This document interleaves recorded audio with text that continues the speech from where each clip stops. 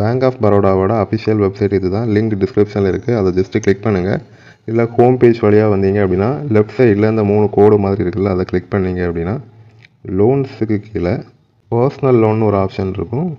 அதை கிளிக் பண்ணி மூணாவது option Baroda digital pre approved personal loan அதை செலக்ட் பண்ணிக்கோங்க.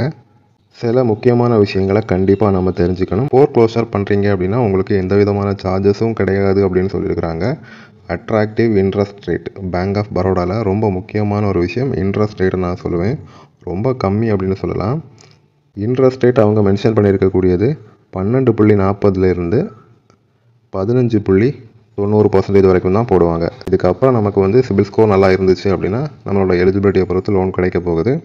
கீழே வந்து அப்ளை நவ்னு ஒரு ஆப்ஷன் இருக்குல்ல அதை கிளிக் பண்ணுறேன் அப்ளை நவ் கிளிக் பண்ண அடுத்த பேஜில் documents required for digital personal loan ஜேர்னின்னு இந்த பர்சனல் லோன் ப்ராசஸை கம்ப்ளீட் பண்ணுறதுக்கு என்னென்ன நம்மக்கிட்ட இருக்கணும் அப்படின்னு கொடுத்துருக்குறாங்க. நிறைய இருக்குது பட் அதெல்லாம் சிம்பிளான விஷயம் தான். வேலிட் மொபைல் நம்பர் அதாவது ஆதார் நம்பர் லிங்க் பண்ணியிருக்கக்கூடிய மொபைல் நம்பர் கண்டிப்பாக கையில் இருக்கணும். அதை தான் ஃபஸ்ட் செகண்ட் ஆப்ஷனில் கொடுத்துருக்குறாங்க. அடுத்தது வேலிட் பேன் கார்டு நம்ம கையில் இருக்கணும். பேன் நம்பர் வச்சுருக்கணும். அடுத்தது உங்களோட நெட் பேங்கிங் கடன்சியல் இருக்கணும். அப்படி இல்லைனா சிக்ஸ் மந்த்துக்கான ஸ்டேட்மெண்ட்டை பிடிஎஃபாக அவங்க மொபைலில் டவுன்லோட் பண்ணி வச்சுருந்துருக்கணும் கண்டிப்பாக வெப் கேமரா கண்டிப்பாக இருக்கணும்னு சொல்லியிருக்கிறாங்க. இது வேறு ஒன்றும் இல்லை. உங்கள் மொபைலில் அப்ளை பண்ணுறீங்கன்னா செல்ஃபி கேமரா இருந்தால் போதும். இதுவே சிஸ்டமில் அப்ளை பண்ணுறீங்க அப்படின்னா உங்கள் கம்ப்யூட்டரில் வெப் கேமரா இருக்கணும் வீடியோ கேவைசி பண்ணுறதுக்காக செல்ஃப் எம்ப்ளாய்டாக இருக்கீங்க அப்படின்னா ஐடிஆர் இன்கம் டேக்ஸ் ரிட்டர்ன் வந்து ஃபைல் பண்ணியிருக்கணும் அட்லீஸ்ட் டூ இயர்ஸ்க்கு அதுதான் கொடுத்துருக்காங்க அப்படின்னா ஜிஎஸ்டி கடன்சியல் இந்த மாதிரி விஷயம்லாம் கண்டிப்பாக வச்சுருக்கணும் அப்படின்னு சொல்கிறாங்க பிஸ்னஸ் பண்ணுறவங்களுக்கு இப்போது இன்னும் சில விஷயங்கள் கீழே கொடுத்துருக்குறாங்க. இதெல்லாம் நீங்கள் வந்து ரீட் பண்ணி பார்த்துக்கோங்க.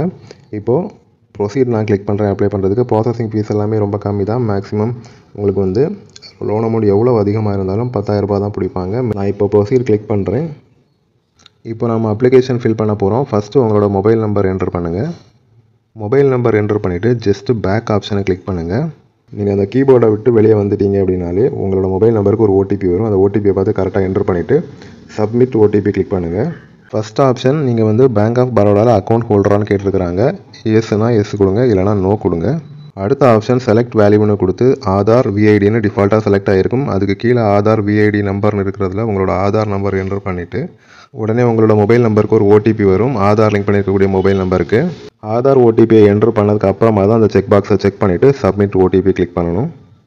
அடுத்த பேஜில் required லோன் அமௌண்ட்டுன்னு கொடுத்து ஐம்பதாயிரம்னு அதில் இருக்கும். நம்ம அந்த கர்சரை மூவ் பண்ண பண்ண இந்த லோன் அமௌண்ட் வந்து இன்க்ரீஸ் ஆகும். உங்களோட எலிஜிபிலிட்டி என்ன அப்படின்றத ஓரளவுக்கு நீங்கள் கெஸ் பண்ணி ரொம்ப அதிகமாகலாம் கொடுத்தீங்கன்னா ரிஜெக்ட் தான் ஆகும். நான் வந்து ஒரு ஃபைவ் லேக் என்டர் பண்ணேன். நீங்கள் வந்து ப்ரீ அப்ரூவ்டு பர்சனல் லோனை பொறுத்த வரைக்கும் ரொம்ப அதிகமாக லோன் அமௌண்ட் கொடுத்தீங்க அப்படின்னா இன்கம் ப்ரூஃப் எல்லாம் கொடுக்க வேண்டியது இருக்கும். ஸோ ஐம்பதாயிரம் டு ஒன் லேக்குக்குள்ளே அப்ளை பண்ண பாருங்கள் என்கிட்ட இன்கம் ப்ரூஃப் இருக்கிறதுனால நான் வந்து ஃபைவ் லேக் அப்படின்னு டைப் பண்ணுறேன் இப்போ லோன் டெனியூர் கொடுத்துருக்குறாங்க. அதையும் மேக்ஸிமம் போடுறேன். மேக்ஸிமம் வந்து சிக்ஸ்டி மந்த் வரைக்கும் போட்டிருக்காங்க அஞ்சு வருஷத்துக்கு போட்டிருக்காங்க ஸோ அதையும் செலக்ட் பண்ணிவிட்டு கீழே வந்து பர்பஸ் ஆஃப் லோன் என்ன பர்பஸுக்கு இந்த லோன் வாங்குறீங்க அப்படின்னு கேட்குறாங்க அதர்ஸ்னு கொடுத்தா போதும். லோனுக்கு லைஃப் இன்சூரன்ஸ் போடுறீங்களா அப்படின்னு கேட்குறாங்க இன்கேஸ் நீங்கள் உங்களுக்கு ஏதாவது ஆச்சுன்னா அதுக்கப்புறம் நீங்கள் லோன் கட்ட வேண்டாம். அதுக்கான ஆப்ஷன் தான் இது. எஸ் கொடுத்துக்கோங்க. வேணும் அப்படின்னா இல்லைனா நோ கொடுத்துக்கோங்க. அதுக்கு கீழே ஐ அக்ரி ஐ ஆம் அ ரெசிடென்ஸ் ஆஃப் இந்தியா அது ரெண்டையும் கிளிக் பண்ணிவிட்டு ப்ரொசீட் கிளிக் பண்ணுங்கள் அடுத்த பேஜில் சல்யூட்டேஷன் நம்ம செலக்ட் பண்ண வேண்டியது இருக்கும். மிஸ்டர் செலக்ட் பண்ணிக்கோங்க. இல்லை மிஸ்ஸஸ்னால் மிஸ்ஸஸ் செலக்ட் பண்ணிக்கோங்க. நேம்லாம் ஆதார் கார்டில் இருக்கிறது டேட் ஆஃப் பர்த் எல்லாமே லோடாகி வந்துடுச்சு.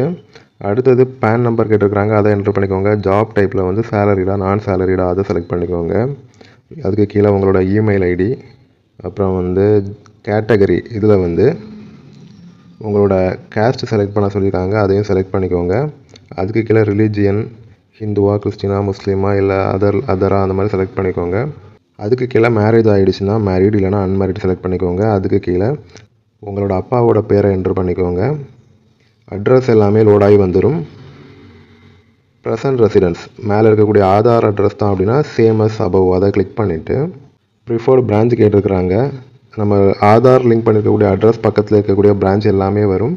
அதில் உங்களுக்கு எது பக்கமோ அதை செலக்ட் பண்ணிவிட்டு ப்ரொசீடு கிளிக் பண்ணுங்கள் நான் ப்ரொசீட் கிளிக் பண்ணியாச்சு அப்படின்னா எனக்கு வந்து அட்ரஸ் லைன் டூவில் த்ரீ கேரக்டர்ஸாவது இருக்கணும் அப்படின்னு சொல்லியிருக்காங்க ஸோ ஆதாரில் வந்து நான் அட்ரஸ் கரெக்ட் பண்ணால் மட்டும்தான் அடுத்த ஸ்டெப் போக முடியும். நீங்கள் இந்த ஸ்டெப்பை கம்ப்ளீட் பண்ணிவிட்டு ப்ரொசீட் கிளிக் பண்ணுங்கள் உங்களுக்கு அப்ளை பண்ணக்கூடிய டைமில் ஏதாவது டவுட் இருந்துச்சு அப்படின்னா என்னோட மொபைல் நம்பர் டிஸ்கிரிப்ஷனில் கொடுக்குறேன். அதை பார்த்து கால் பண்ணுங்கள் நான் கண்டிப்பாக